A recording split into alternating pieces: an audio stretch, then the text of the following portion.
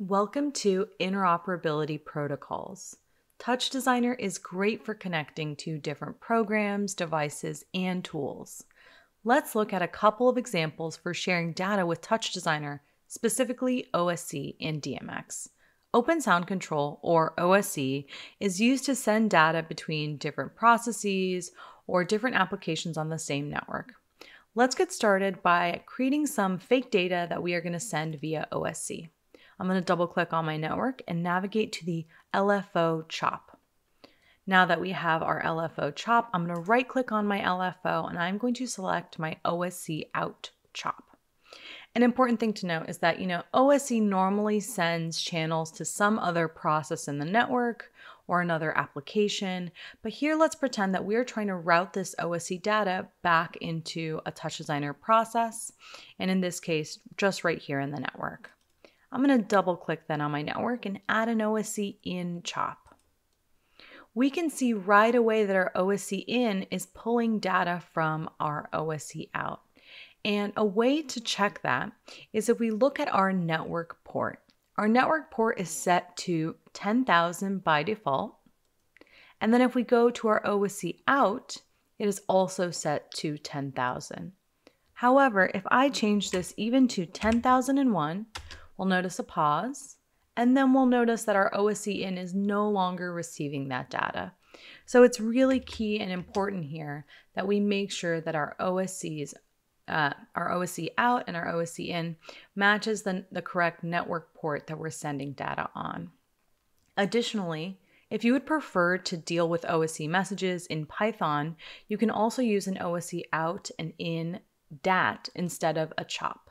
So I'll just, oh, double click on the network and then route here to my DATs.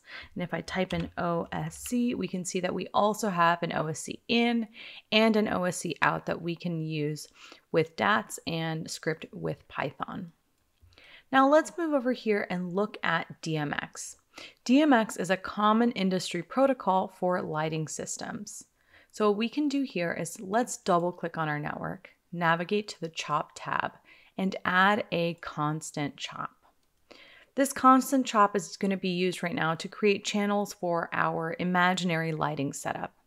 So here on the name zero parameter, we're going to change the name of this channel to dimmer. And then we're going to add another channel. We're going to call it R, another channel G, and then our last channel B.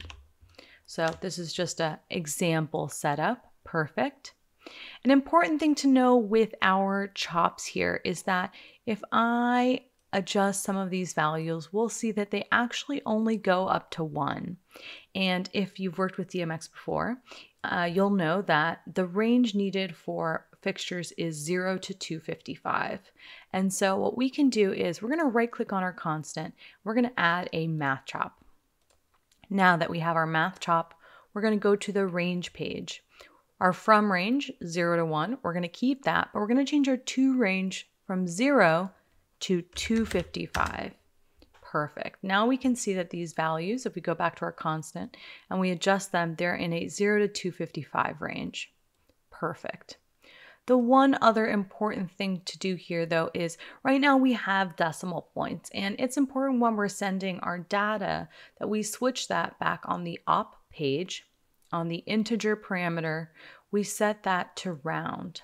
That will make sure that all of our, our integers are rounding up to make sure we're tr transmitting the exact integer value that we want.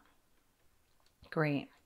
Now finally, I'm going to right click on my math chop and I'm going to add a DMX out chop. Perfect, we see that here, but we have a little warning. If I middle mouse click, we see that I cannot connect with my device. If I check my DMX out, there is an interface parameter. This interface parameter, if we click on it, relates to all of the different ways that we can send out our DMX channels. And here by default, it's looking for my ENTTEC USB Pro. I don't have that connected, but that's okay. I'm gonna go ahead and select ArtNet. ArtNet is essentially DMX over Ethernet. And so what we're going to do is we're going to middle mouse, make sure we have all of our channels. Here we have four channels. Great. And we are going to simulate this again in a similar fashion. Ideally, we would be sending this to a lighting desk. What we're, going to do is I'm to double click on the network and I'm going to add a DMX in. Perfect. I drop that in. It's flickering, it's grumpy, and that's because it's looking for the ENTTEC. Instead, I'm going to select ArtNet. And we can see if we zoom on in here, we see the channels that I had made. The first four channels. So it's C1, C2, C3, C4. The last one should be 209. If I check my channels, it is indeed 209. So here, even though it's a bit hard to see, if I scroll all the way down at the bottom of this DMX in chop, we can see that we have a total of 512 channels. And that is because it is one DMX universe. That is just a quick way to look at how we can both bring in data via OSC or via DMX. So Touch Designer also supports MIDI devices. You'll notice that there is a MIDI, MIDI chops and MIDI DATs, as well as in the dialogues, you'll notice a MIDI device mapper. Uh, it supports MIDI as well as TCP/IP Internet Protocol for any web servers or web clients, and generally, Touch Designer is a great tool for flexibly connecting to other processes and other applications.